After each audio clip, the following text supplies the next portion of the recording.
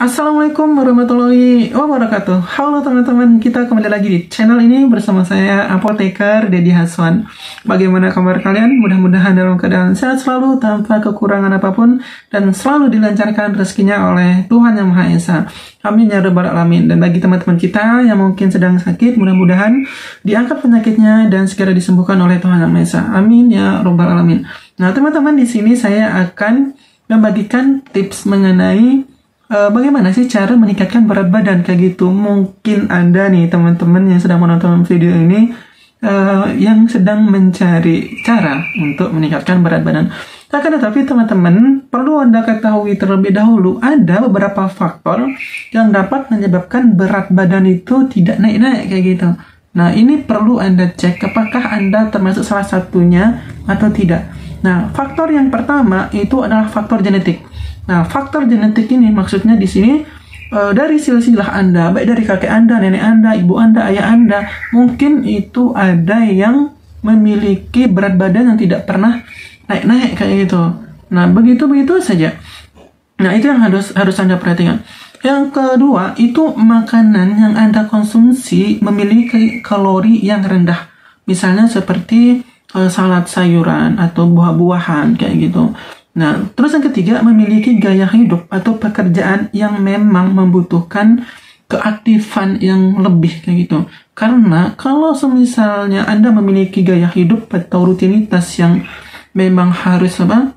Uh, aktif gitu kan, maka ini dapat menurunkan berat badan Anda juga. Apalagi kalau semisalnya aktif fisik dan juga aktif dari otak kita. Karena otak kita misalnya stres gitu kan itu dapat membuat uh, berat badan menurun. Nah, kemudian terlalu banyak olahraga, teman-teman. Dengan salah di sini. Olahraga itu memang menyehatkan, dapat menurunkan berat badan akan tetapi kalau misalnya terlalu banyak berolahraga, itu pun juga bagi teman-teman yang ingin meningkatkan berat badan mungkin perlu berpikir-pikir lagi jenis olahraga yang pas untuk Anda kayak gitu. Kemudian menderita penyakit tertentu. Mungkin teman-teman di sini tahu ya kalau Eh, penyakit-penyakit tertentu itu bisa menurunkan berat badan Anda. Nah, apakah Anda salah satu dari beberapa faktor-faktor yang tadi saya sebutkan kayak gitu?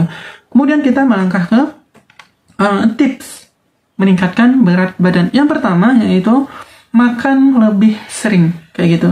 Nah, kalau semisalnya dulu Anda itu makan tiga kali sehari, maka diubah menjadi 5 sampai 6 kali sehari kayak gitu.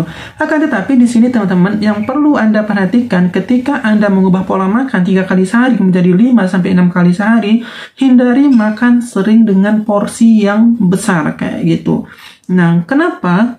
Uh, soalnya kalau Anda makan sering dengan porsi yang besar, bisa saja Anda meningkatkan berat badan kayak gitu. Takutnya nanti Anda memiliki berat badan yang obesitas atau berlebihan kayak gitu. Serta orang-orang ini ya, orang-orang yang sering sekali makan dalam porsi besar dan dengan frekuensi yang sering itu dapat menyebabkan gangguan saluran pencernaan. Misalnya seperti asam lambung naik kayak gitu. Ini yang perlu diperhatikan.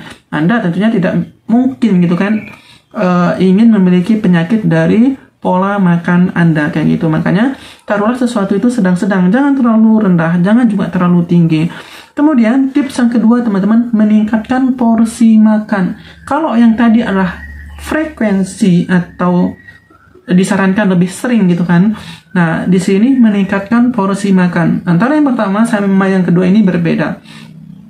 Kalau misalnya Anda kemarin makan tiga kali sehari, dua sendok makan, ini cuma contoh saja teman-teman. Nah, kalau misalnya dua sendok makan, maka ubahlah per makan itu menjadi tiga sendok kayak gitu, tiga kali uh, sehari. Karena apa? Kalau semisalnya Anda mengkonsumsi makanan walaupun itu tiga kali sehari, tapi dalam jumlah yang besar ini juga tidak dianjurkan teman-teman karena nanti dapat bermasalah ke saluran pencernaan uh, Anda. Maka di sini disarankan uh, ditambahkan secara perlahan kayak gitu. Yang tadinya 2 sendok jadi 3 sendok per per makan. Kemudian di sini makan dengan jadwal yang uh, teratur karena ini juga penting agar kalori itu digunakan oleh tubuh kita secara teratur juga dan untuk mencegah terjadinya gangguan saluran pencernaan. Kemudian teman-teman ini, yang ketiga, uh, mungkin sepele bagi Anda, tetapi ini dapat membantu Anda untuk meningkatkan berat badan, yaitu minumlah setelah makan, kayak gitu. Karena kebanyakan, mungkin Anda nih sedang menonton video, minum sebelum makan, kayak gitu, itu kebiasaannya. Maka dari sekarang, ubahlah uh, minum itu setelah uh, makan karena apa kalau semisalnya kita makan eh mak sorry kalau misalnya kita minum sebelum makan otomatis kita itu akan merasa kenyang terlebih dahulu dengan adanya air yang sudah banyak di lambung kita. Gitu yang sudah di perut kita. Nah berbeda halnya kalau semisalnya kita minum setelah makan. Itu bukan air yang lebih banyak di dalam perut kita akan tetapi makanan. Hmm, kayak gitu. Nah ini juga perlu diperhatikan. Serta Eh, orang-orang uh, yang biasanya apa banyak minum sebelum makan, nafsu makannya itu akan uh, membuat nafsu makan itu menjadi menurun kayak gitu. Dibandingkan dengan mereka yang uh, minum setelah makan itu nafsu makan mereka menjadi tetap meningkat.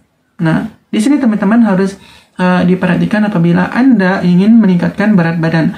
Nah, ini merupakan pembahasan dari part 1 di mana nanti part 2-nya akan saya upload uh, pada minggu uh, atau pada hari berikutnya.